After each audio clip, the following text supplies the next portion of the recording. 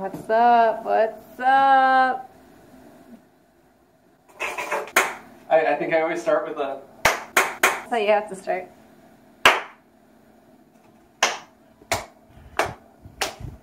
Today we're making mochi? We gotta measure out some things. Let's get that sugar. I'm gonna microwave it. It's water, sugar, and mochi flour. Just letting you know. Alright, we're just gonna pop that in there just for a second. Just for a second. 30 seconds. Gotta taste it, make sure it tastes good. I get to get a new spoon.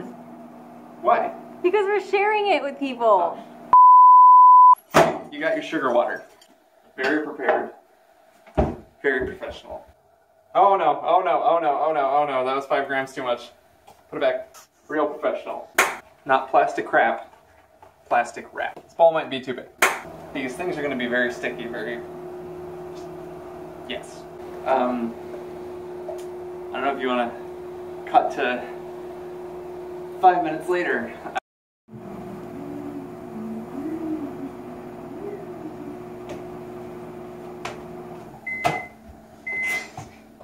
Slap that, slap that, squirt that.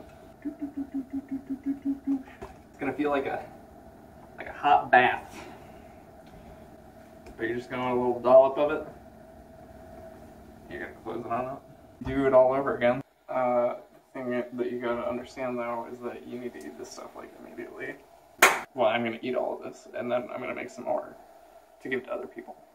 So yep, there you go. Now your mochi's done.